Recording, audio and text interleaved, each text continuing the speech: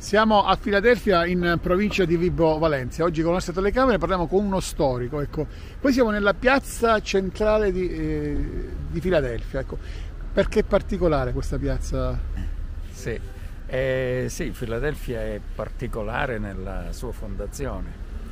È stata edificata subito dopo la distruzione del vecchio paese di Castelmonardo, un paese medievale, con una concezione architettonica e urbanistica totalmente eh, diversa rispetto a quella che era il borgo medievale.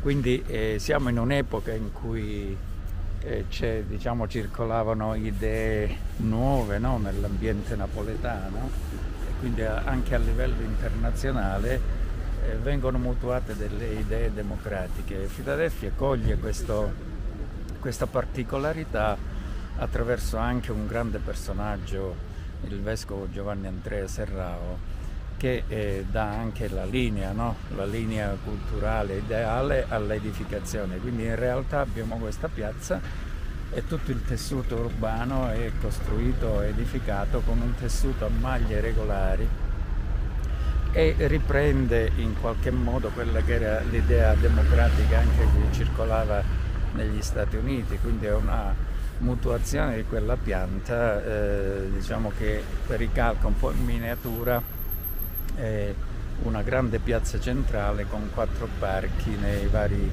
eh, nei relativi quartieri. Filadelfia invece si occupa quattro chiese, quattro chiese per ogni quartiere, per ogni invece, quartiere. Di, invece, Di, un parco una ecco, chiesa. Una chiesa. Che abbiamo chiesa San... Eh, San Francesco, chiesa del Carmine, San Teodoro, Santa Barbara è l'unica, possiamo dire, in Italia forse che è così una... Penso, penso di sì, proprio perché anche le idee innovative c'è un'ambizione in quel, in quel Ecco, eh, si potrebbe creare un turismo ecco, eh, eh, per arrivare qui a, a Filadelfia. Ecco, cosa c'è oltre la piazza da vedere in questo bellissimo territorio?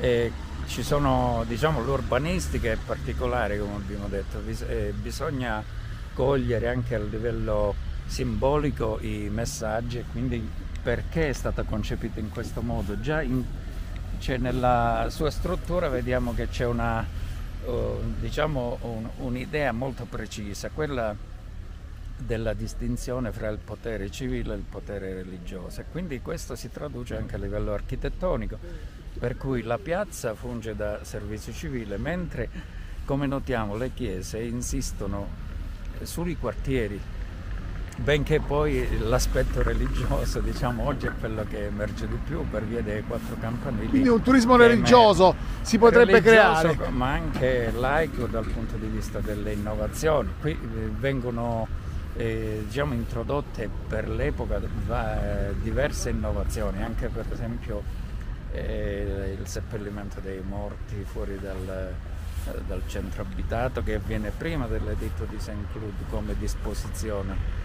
Quindi tante altre eh, eh, innovazioni che eh, tuttavia non precludono quella che è l'utopia calabrese, perché rispetto alle altre città coeve dell'epoca come Palmi o altre cittadine ricostruite dopo il terribile terremoto del 1783, Filadelfia ha quasi una, un ritorno a quella che è l'utopia, una città, una città centripeta che guarda al suo centro, mentre le altre diciamo, sono un po' più moderne tra virgolette per l'epoca. Quindi Filadelfia coniuga utopia e innovazione. L'utopia perché ritorna all'utopia della città chiusa, ma allo stesso tempo aperta, aperta come innovazione.